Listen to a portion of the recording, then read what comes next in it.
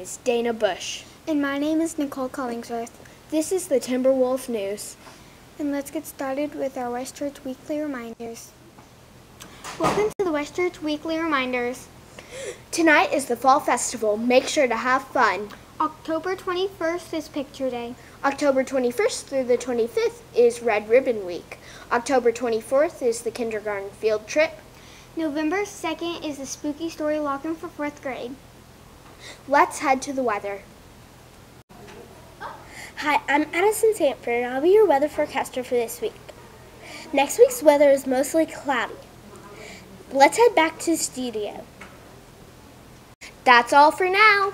And thank you for watching Timberwolf News.